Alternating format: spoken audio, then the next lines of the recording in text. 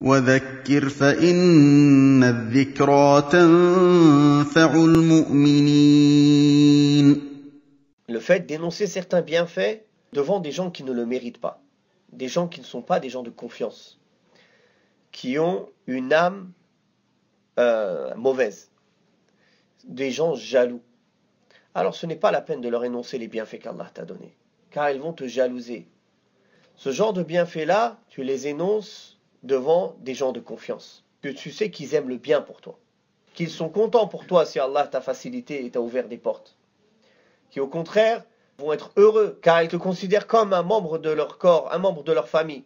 Comme le prophète sallallahu alayhi wa sallam a dit, l'exemple des croyants dans les liens d'affection et de fraternité et de miséricorde qui les unissent, c'est comme les liens d'un corps. Si une partie du corps se plaint, tout le corps accourt à son secours par la fièvre et la veille. Donc si c'est un frère qui est comme ça avec toi, oui, tu lui dis, Alhamdulillah, Allah m'a ouvert les portes. Alhamdulillah, j'ai appris des choses. Alhamdulillah, Allah m'a ouvert les portes de la richesse et je l'utilise dans le khair. Mais si c'est un jaloux ou quelqu'un qui aime trop ce bas monde, ne lui dis pas. Car elle va te jalouser et qu'il peut même te porter le mauvais œil à cause de sa jalousie. Et il y a un hadith où l'authenticité de ce hadith a été discutée pas mal de savants du hadith l'ont rendu très faible, mais Sheikh Al-Albani l'a considéré acceptable et euh, authentique. Même ceux qui l'ont considéré faible disent que son sens est bon.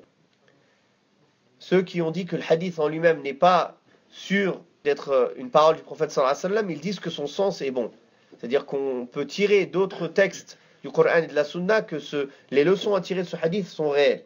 Ce hadith où le messager d'Allah sallallahu alayhi wa sallam dit Prenez aide à compléter vos projets avec le secret et le silence.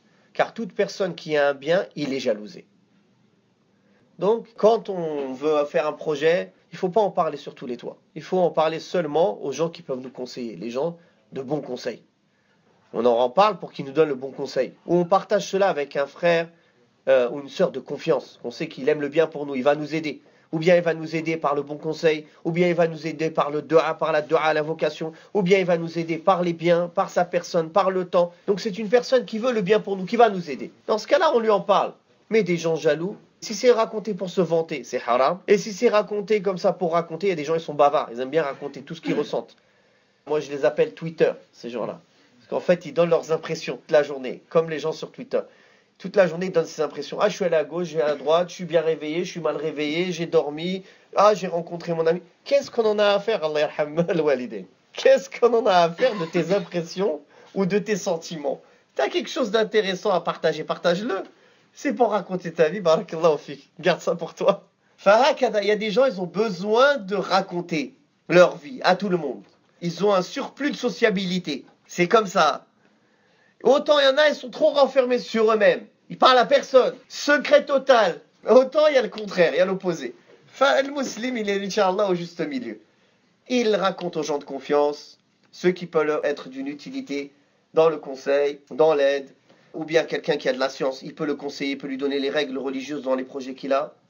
Même les rêves. Le prophète sallallahu alayhi wa sallam a dit que les rêves, on ne les raconte pas à tout le monde. Quand tu fais un beau rêve, une bishara, une bonne annonce qu'Allah Ta'ala te fait dans le rêve, bien que ce n'est pas une certitude un rêve, un, rêve, ça reste toujours euh, dans le sens de l'encouragement. Tu la racontes aux gens que tu aimes, aux gens qui t'aiment, des gens proches, pas à tout le monde.